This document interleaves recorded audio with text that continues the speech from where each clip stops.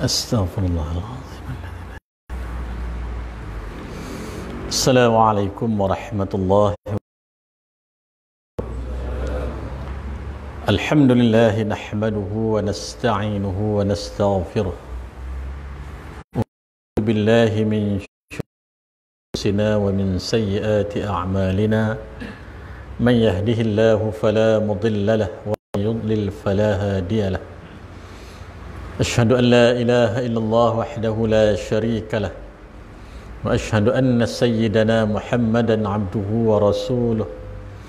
اللهم فصل وسلم لهذا النبي الكريم وعلى آله وصحبه وذرياته أجمعين. إنك لا علم لنا إلا ما علمتنا إنك أنت العليم الحكيم. ولا حول ولا قوة إلا بالله العلي العظيم. اللهم رب اشرح لنا صدورنا ويسر لنا أمورنا واحلل عقدة من ألسنتنا يفقه قولنا آمين. يا أيها المؤمنون اتقوا الله أوصيكم وإياي بتقوى الله فقد فاز المتقون. Muslimin muslimat, mukminin mukminat, sidang jemaah yang dirahmati Allah sekalian, apa khabar sidang jemaah yang dirahmati Allah sekalian? Alhamdulillah. Allah mengizinkan kita untuk bertemu pada kali ini sesudah lebih tiga bulan kita tidak dapat bersama. Kita dengan musuh yang tidak nampak tetapi serangannya amat dahsyat menggoncang seluruh alam termasuklah di tempat kita ini. Bahkan sehingga hari ini pun gejala ataupun wabak COVID-19 ini masih lagi berlegar di dalam masyarakat. Hari ini sahaja naik 14 kes dalam negara kita Malaysia. Maknanya dia tak lari jauh masih lagi duk main di persekitar kita Alhamdulillah rakyat Malaysia adalah rakyat yang patuh dan bertanggungjawab. Tuan-tuan, puan-puan nampak memahami arahan daripada pihak. Ha, suruh pakai penekuk muka pakai. Ha, tapi kalau nak makan kena buka lah ha, jangan duk sumbat macam tu bahaya. Nanti ada yang makan ha, face mask kan Alhamdulillah Allah izin kita untuk bertemu pada malam ini dalam suasana surau yang sudah serba baru dan yang lebih luas. Dan meja penceramah pula saiz tanah Arab. Kan tenggelam aku ha. nak baca kitab pun jadi macam tu. Ha, cari kursi tinggi sikit. Kita bukanlah bosan kan kocik. Cuma gomok je PKP Tuan Haji dah tegur tadi gemuk. Memang gemuk. Naik 80 kilo. Sebelum ni 75 kilo je paling tinggi. PKP 80 kilo sampai turun. Ha, sebab hari-hari menterdarah kau jual kan. Tidur makan, tidur bangun makan, inilah hasilnya. Ha, cuma kehansemannya tetap tidak terjejas. Ha, itu je lah kan. Baik, kita meneruskan pembacaan kitab Fiqh Manhaj Syafi'i. Jilid yang pertama. Masih lagi di dalam bab salat-salat sunat. Betul eh? InsyaAllah kita masuk kepada bab yang seterusnya. Iaitu muka surat 554. Betul? Ha. Iaitulah salat gerhana matahari dan gerhana bulan. Bismillahirrahmanirrahim pengertian dan pensyariatannya. Ha, solat sunat gerhana kita memang duk buat.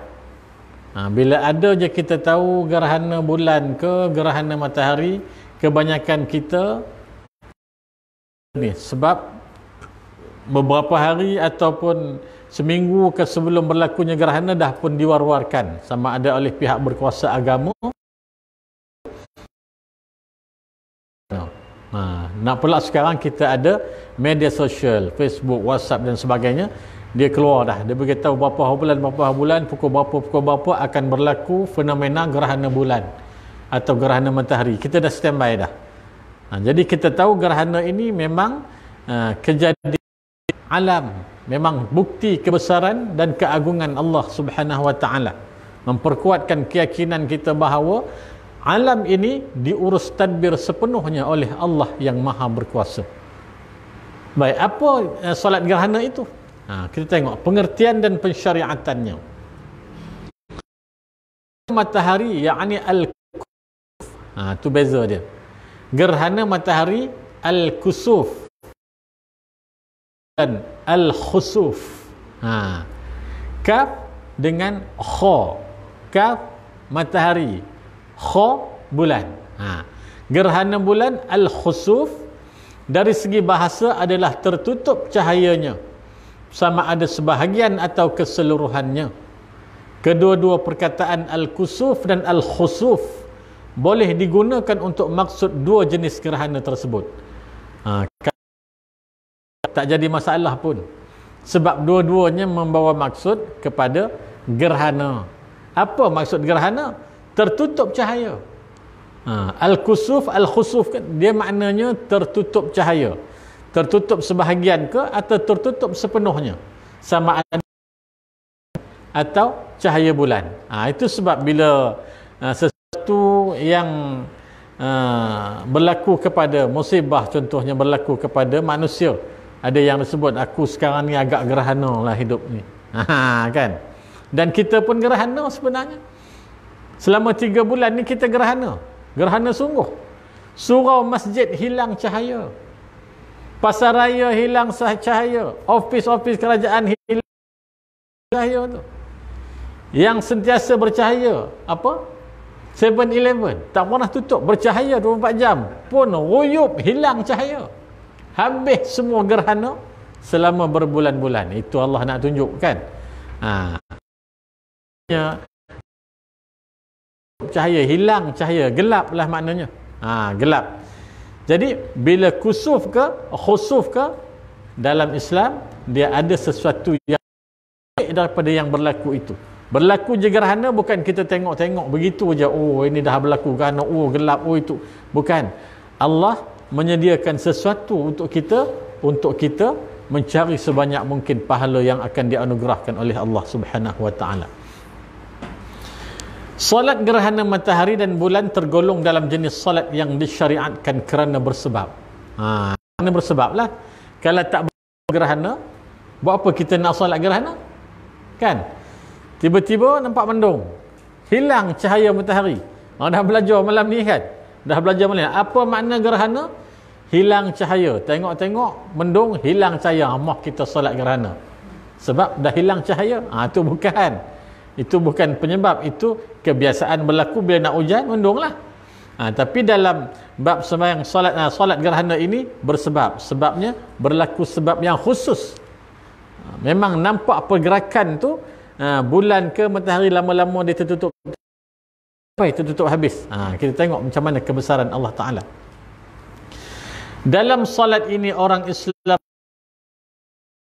mendarkan segala bencana dan mengembalikan cahaya ha, tu kita minta bila berlakunya gerhana tengah-tengah matahari yang menerangi seluruh alam matahari ini bukan dia menerangi tempat kita saja bukan menerangi eh, Serembannya, Negeri Sembilannya atau Malaysia. Dia menerangi seluruh alam. Tiba-tiba bila berlakunya gerakan tertutup seluruh matahari itu hilang segala cahaya. Apa maknanya? Bukan kuasanya kepada kita. Apa pun boleh kalau Allah nak.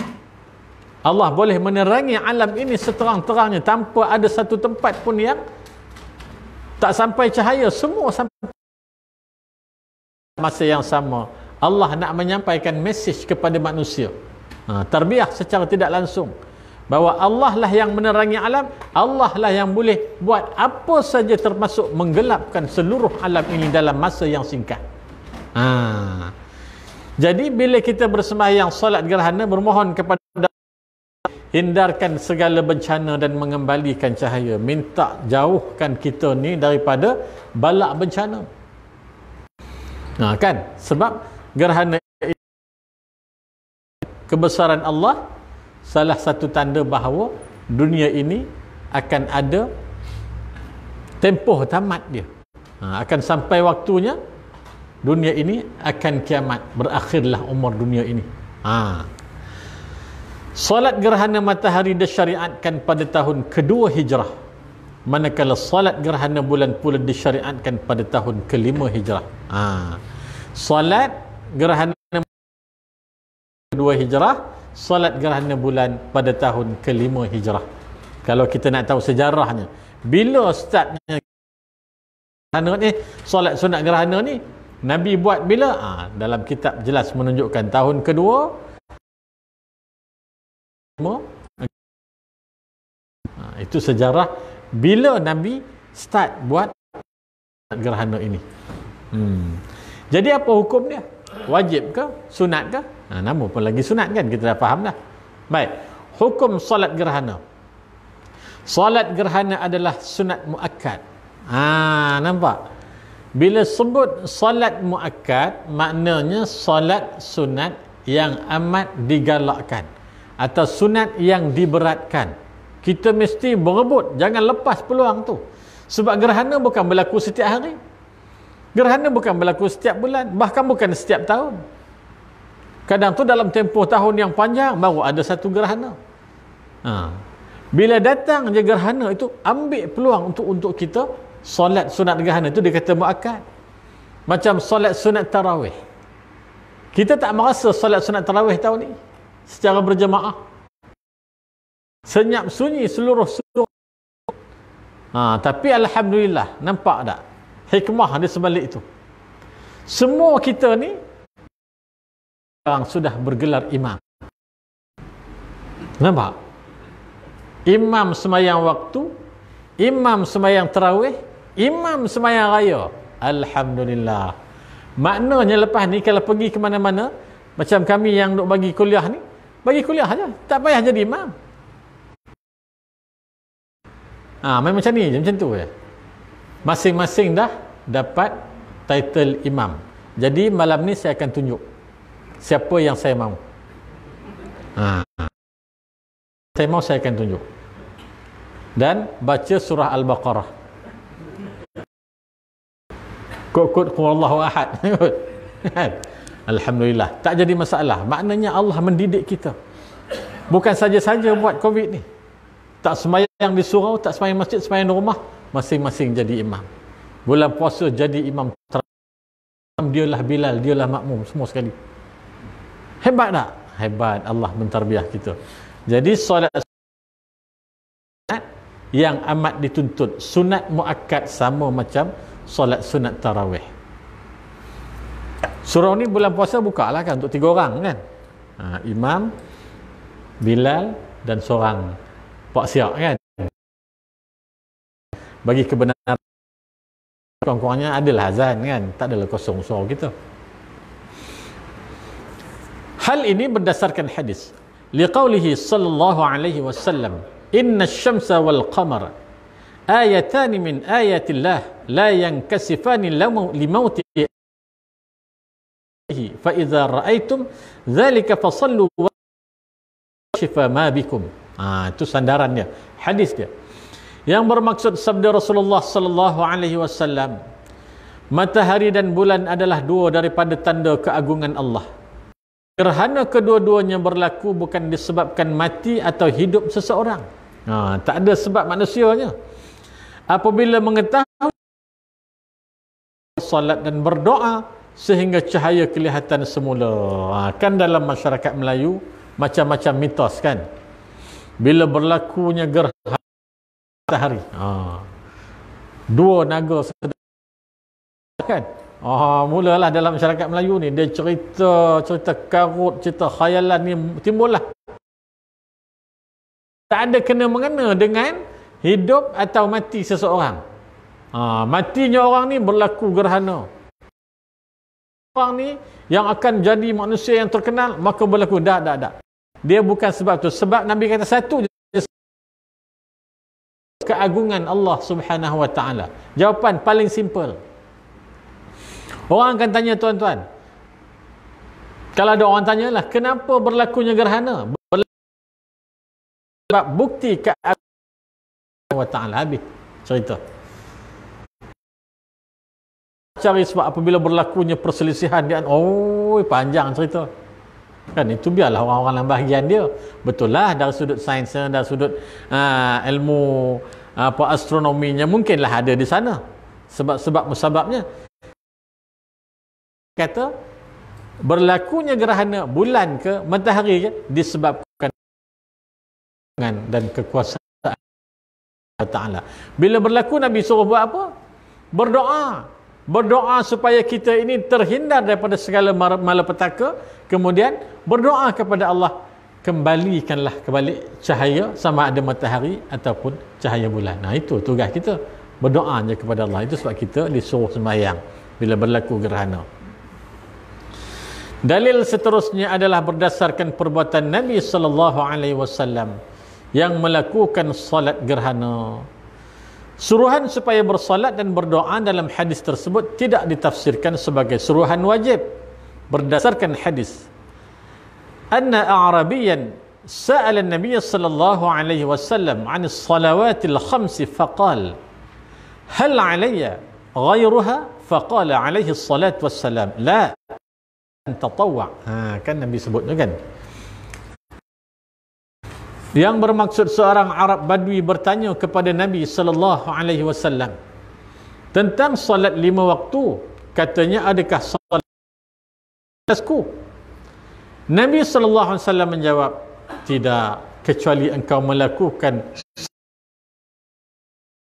Badui ini tanya Nabi selain daripada solat uh, daripada uh, subuh sampai isyak ni adakah lagi solat yang wajib?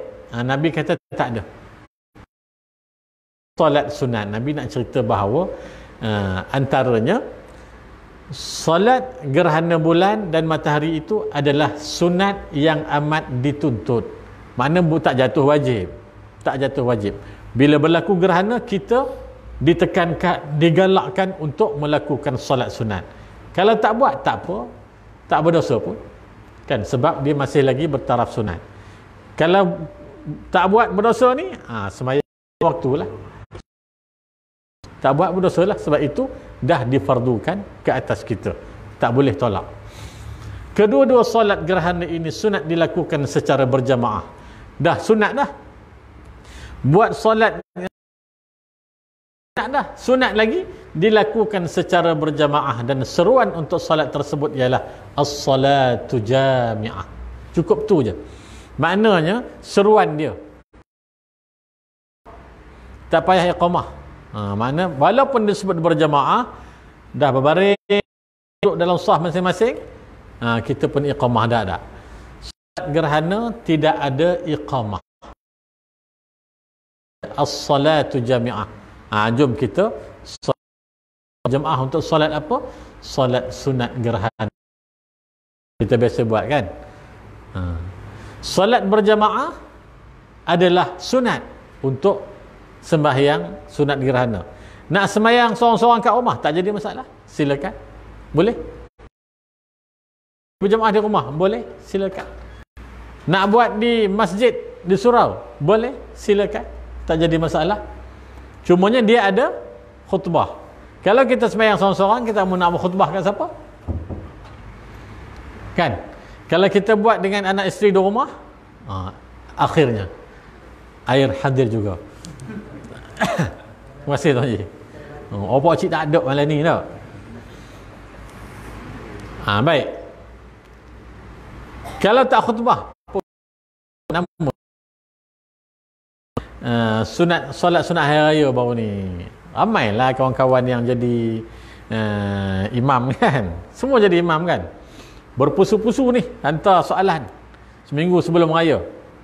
Boleh dah ustaz dia kata baca selain daripada sabihis dengan hal ataka hadis tul ghasyah untuk semayang raya. Sebab tak hafal ni dia kata.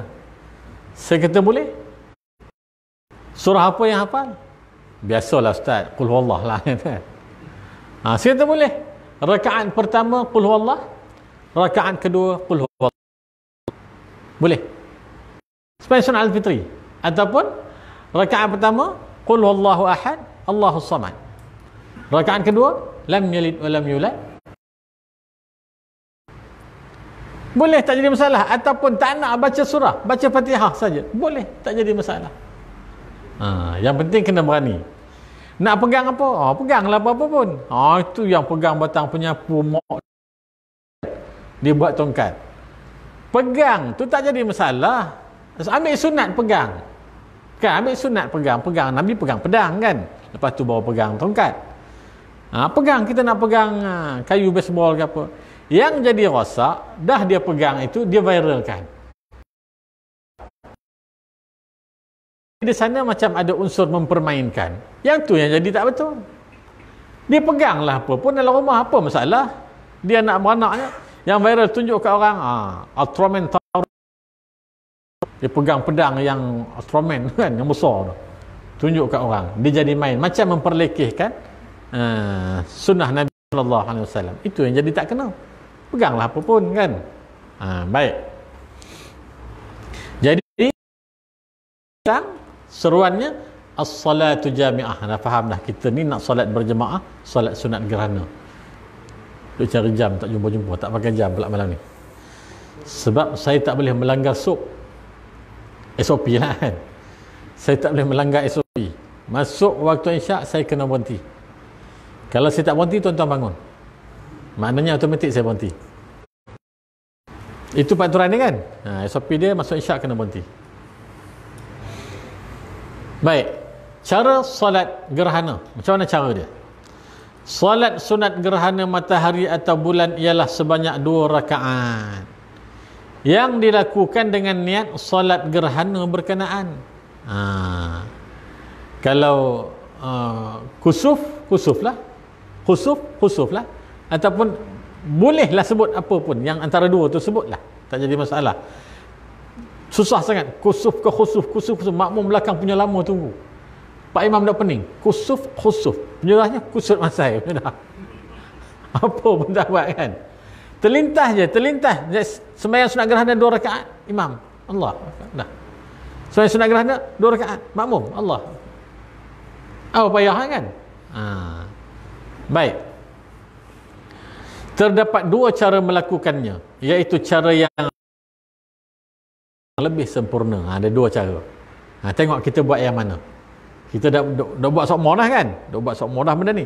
Tengok yang mana kita dah selalu buat. Satu. Cara yang ringkas dilakukan adalah pada tiap-tiap rakaat dengan dua kali berdiri, dua kali baca. Biasa tanpa memanjangkan. Macam biasa. Semayang macam biasa. Biasa dua berdiri dua rokok dua sujud habis.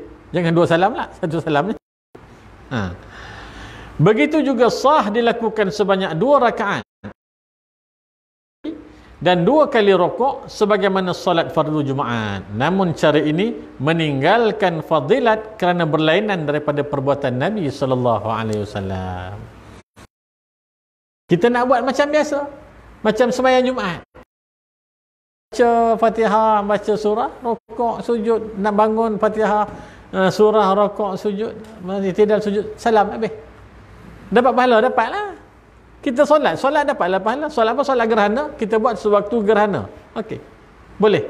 Sah. Tak jadi masalah. Tak payah duduk berdebat sebab tu. Cuma ditambah di bawah ini. Namun cara ini meninggalkan fadilat. Kerana lain dengan apa yang Nabi buat. Ha, Nabi buat macam mana? Ha, tengok. Yang kedua.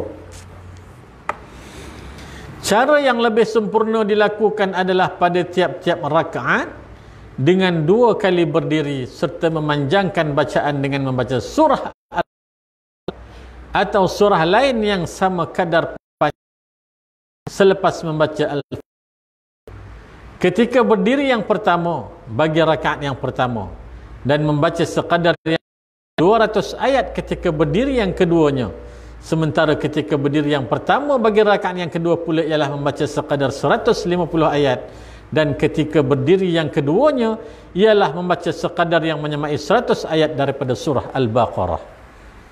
Agak-agak kita baca Al-Baqarah ke qul ya ayyuhal kafirun dengan qul huwallahu ahad.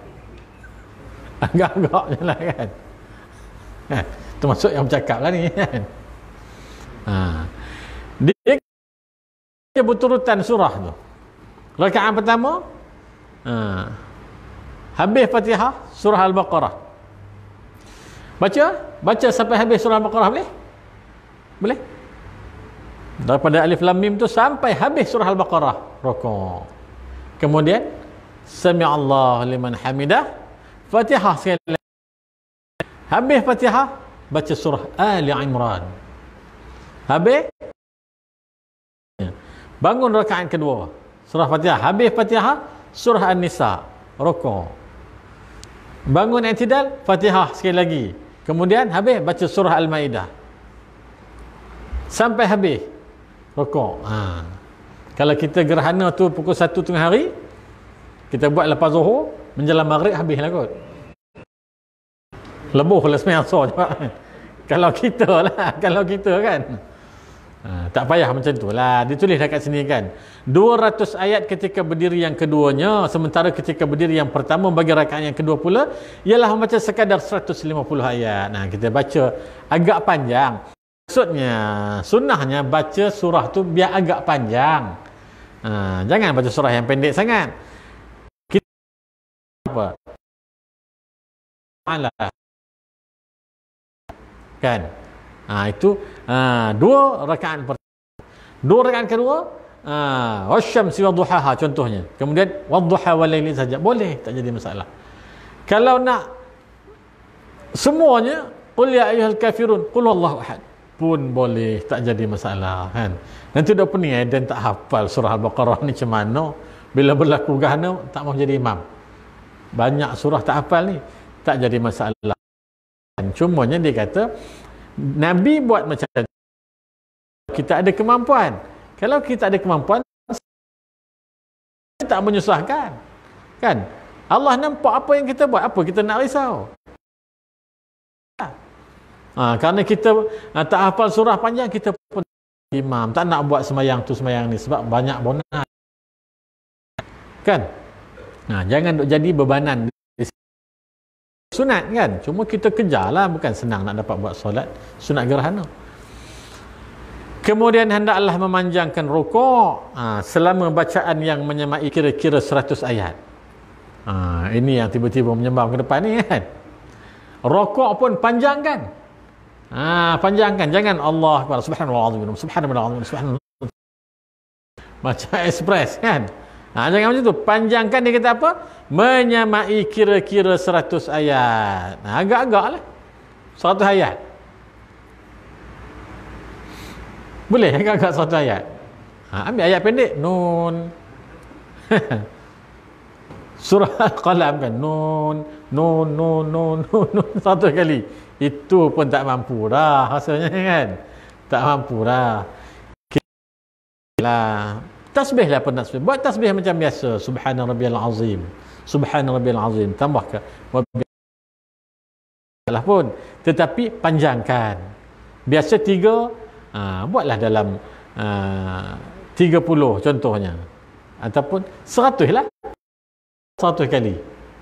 Uh, kalau tak pening lah kan. Kalau pening cepat-cepat bangun. Nanti rokok-rokok langsung tak bangun. Uh, Itu bukan bebanan. Nak sebut sekali lagi, itu bukan bebanan, itu anjuran. Nabi buat macam tu. Kalau kita tak mampu, sekadar yang kita mampu. Set siap-siap. Aku nak buat uh, tujuh kali je. Al-Azim wa bihamdi subhanallah. Kali bangun. Tak jadi kesalahan pun. Ha. Sementara pada rokok yang kedua pula membaca anggaran 80 ayat. Ha, kedua dah ada diskaun dah sikit. 80 ayat. Rokok yang ketiga sekadar 70 dan rokok yang keempat sekadar 50 ayat. Ha, settle. Sekejap je kan. Daripada 100 dia turun 80, turun 70, turun 50. Ha, nampak cantik tak? Yang Nabi ajar pada kita tu Nabi tahu kita punya kemampuan macam mana. Kalau 50 pun tak boleh. 5 lah. Ha, 5 cukup dah. Okey, tak jadi masalah pun. Ha, 3 pun okey, tak jadi masalah. Yang penting kita tahu yang kita buat itu adalah anjuran daripada Nabi Sallam. Nabi ajar kita macam tu. Hmm. Apabila selesai bersolat, imam khutbah Jumaat dari segi rukun dan syarat-syaratnya. dalam dua khutbah tersebut imam menggalakkan jamaah supaya bertaubat dan membuat kebajikan serta menyedarkan mereka daripada lalai dan tertipu. Nah, tu antara isi khutbahnya. Ha, boleh Google kan. Ha, pergilah Majlis Agama Islam Negeri Sembilan ke tak kira lah JAKIM ke Majlis Agama Islam Negeri ha, tag kat situ khutbah ha, gerhana solat gerhana bulan atau gerhana matahari. Ambil lah ha, kita ambil yang JAKIM punya pun boleh. Ha, di sana ada macam mana yang Nabi buat. Gerhana ini adalah salah satu tanda kebesaran Allah Subhanahu Wa Taala tanda peringatan dan amaran daripada Allah Subhanahu Wa Taala Manusia ni banyak sangat lalai dan leka. Banyak sangat melakukan dosa dan maksiat. Ni macam yang duk berlaku ni, ini peringatan daripada Allah. Kan? Pernah berlaku tak dalam tuan-tuan mungkin pernah hidup di zaman uh, komunis. Asal tak ada kot yang hidup di zaman komunis, zaman penjajah ada. Mungkin ada lah tuan Jumar mungkin uh, pernah kot. Uh, saya uh, arwah nenek saya arwah apa saya selalu duk cerita. So, macam mana perintah darurat di zaman komunis memerintah 14 hari dan sebagainya. Itu jelas nampak musuh ada depan mata. Ini musuh tak nampak tiba-tiba kena duduk dalam rumah. Kita pun tak faham tak faham PKP tak apa benda? Bila sebut 18 hari bulan 3 ha, perintah kawalan pergerakan riuh rendah balik kampung satu satu Malaysia ni balik kampung. Balik terkurung kat kampung. Dan naik menyampah mak bapak tengok muka kita kan. Ha, punyalah merayu dengan kerajaan nak balik. Kau tak faham? Saya pun tak faham. Dah bungkus barang malam tu. Ah balik perak kita dua minggu. Tak bekerja kan? Tapi Allah mentakdirkan anak seorang tersangkut kat universiti nak kena pergi ambil anak dulu. Anak cakap malam ni tak besok baru boleh keluar. Okey besok terus balik rumah apa ke Kuala Kansar ha, sudah. Ha, anak saya termasuk di dalam yang terkepung di universiti tak boleh balik. Dah puasa seminggu dua minggu baru dapat balik. Alangkah hiburnya hati ni kan? Anak orang lain semua ada kat rumah. Nampak? Kita tak faham. PKP tahu benda. Kita seronok eh cuti-cuti kata orang perak tanya guling lantang molo guling lantang Itulah kerja kan. Ha, ke dapur ke kanjung, ke dapur kanjung, masuk bilik tidur. Mula-mula tu memang payah. Bila nampak nak masuk waktu tu, bergegas ambil semayang mandi. Orang rumah saya nak pergi mana? Eh surau. Eh surau mana? Orang rumah tanya. Surau mana buka? Allah tak boleh pergi surau. Ha, semayang dalam rumah. Okey, Alhamdulillah. Akhirnya bila duduk di rumah, hari-hari buat benda makan yang baru. Hari ni buat biskut ni, hari ni buat ha, tak buncit jadi eh. Alhamdulillah. Alhamdulillah kan. Ha. Jadi bila Allah dengan musibah yang sebegini rupa, ni musibah. Ha. jangan kita menyungun apa bondo lah COVID-COVID tak pernah dengar dulu zaman dulu tak ada bondo nama COVID-COVID tahu bondo tak. Mengeluh. Al-jaza'u 'inda al-musibatun ukhra. Tak boleh. Berkeluh kesah, merungut apabila ditimpa musibah Kita menyungut dengan musibah maknanya Allah sedang menimpakan kita satu musibah yang lain. Ha, nanti uh, bagi tahu eh kalau dah masuk waktu. Saya tak nak dipersalahkan kalau suara ni tutup. kan? Jangan menyungut. Allah dah uji kita macam tu redha dengan musibah yang Allah bagi. Ada benda yang kita nak kena belajar daripada sana. Ha, kalau sebelum ni surau masjid hayya 'ala salah pak bila duk laungkan marilah ke surau masjid kita dirikan solat buat tak erti ya. Ha. Yang tengah minam-minam, yang tengah main dam main dam, tengah main kera main kera, yang futsal futsal, yang pasal malam ni jangan ceritalah. Tak ada sikit pun rasa takut dengan Allah Subhanahu Wa Taala. Tak terfikir pun yang ni pasal malam ke apa ni semua tu akan ditinggalkan. Semua akan ditinggalkan. Satu hari kita akan dibangkitkan di padang mahsyar. Ini yang duduk dalam masjid surau inilah yang Allah akan tanya. Rumah-rumah Allah yang terang benderang, yang besar, yang indah, yang sejuk, yang ada aircon semua ni. Kamu kunjung ke tidak? Itu yang akan Allah tanya. Ambil pengajaran daripada situ. Ha, bila tutup tiga bulan, huru hara. Kecoh tak boleh semayang Jumaat tak boleh semayang Jumaat. Hari ni bila buka aja peluang semayang Jumaat tak sempat pukul 12.30 penuh sampai ke belakang. Nampak tak? Orang berebut nak semayang Jumaat. Alhamdulillah. Yang ada kesedaran. Tetapi yang dok buat main ni macam khutbah kita yang baru ni Pak Khatib baca kan? Yang mohon berapa dia kata? Yang mohon bulan ni saja 16 ribu kan? Ha, tapi yang datang 8 ribu sahaja Ha, 50%. Mana pergi yang separuh lagi tu? Main-main mohon. Mentang-mentang dia pakai IT, dia mohon. Tapi dia tak pergi. Tidakkah ini buat naya pada orang lain kan? Ha. Allah dah hajar kita ambil tunggu daripada apa yang berlaku ini. Ha, baik. Bila selesai, berkhutbah lah. Khutbah macam khutbah Jumaat macam biasa. Ha, habis khutbah, habislah. Ha, itu saja solat. Ha, sunat gerhana. Hal ini berdasarkan hadis. An Samurah bin Jundub radhiyallahu anhu qal صلى بنا النبي صلى الله عليه وسلم في كسوف لا نسمع له صوتا yang bermaksud daripada Samurah bin Jundub radhiyallahu an katanya Nabi sallallahu alaihi gerhana matahari bersama-sama kami dan suaranya tidak kedengar oleh kami.